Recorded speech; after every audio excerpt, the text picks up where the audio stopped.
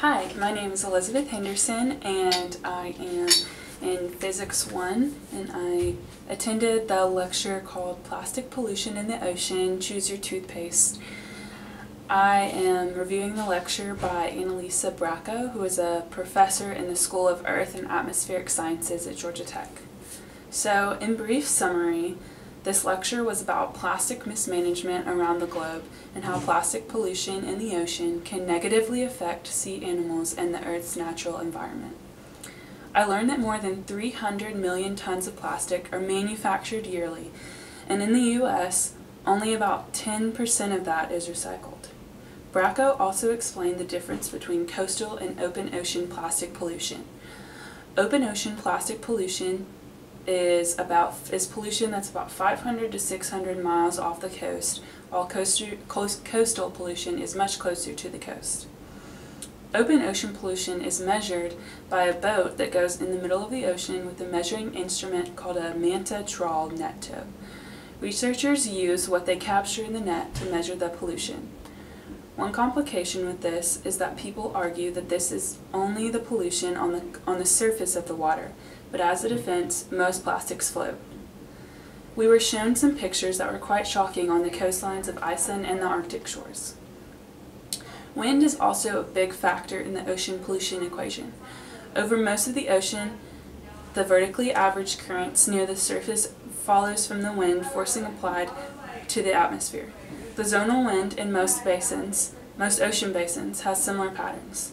This is where most of the physics comes in. The thermodynamic equation, continuity equation, horizontal momentum equation, and vertical equation, vertical momentum equation, are used to calculate the planetary geostrophic equation for the Boussinesq fluid in the limit of a small Rossby number. This was confusing to me at first, but after she explained it more in depth, I was able to understand it better. There are four possible solutions to help prevent plastic pollution in the ocean. One of them is called nanofragmentation, which is bacteria that eats the plastic and digests it. Doing the cleanup job themselves, doing the cleanup jobs themselves. This is the possible, this is the best of the possible solutions.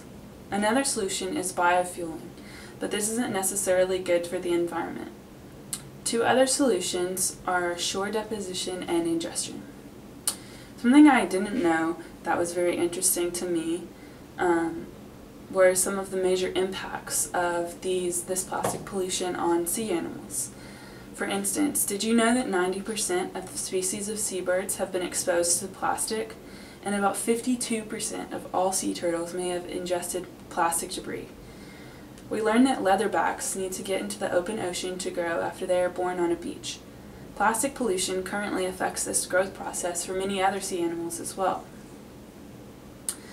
This was the part that was very interesting to me of the lecture. The most interesting part of the lecture to me was when uh, Bracco discussed microbeads in face washes and toothpaste that affect plastic pollution in the ocean. Microbeads, which is short for microplastic particle abrasives, are extensively used in products like facial scrubs and toothpaste because they are cheap and not too abrasive. A single product may contain as many as 350,000 polyethylene or polypropylene microbeads. Microbeads enter the environment through sewage overflows or by passing through septic systems. They can pass through sewage treatment plants. This is not safe at all for sea animals or the Earth's environment, so be mindful when buying your toothpaste. After this, I decided to look into some toothpaste that included microbeads and some that did not have microbeads in them. I found that Crest Pro Health Advance and Crest 3D White Arctic Fresh and CVS's Brilliant White toothpaste brands all had microbeads in them. One brand that was sure not to have microbeads in them were was Arm & Hammer. So if you want to buy some toothpaste without microbeads in them, Arm & Hammer is a good way to go. And you can find more information on their stance about this at their website.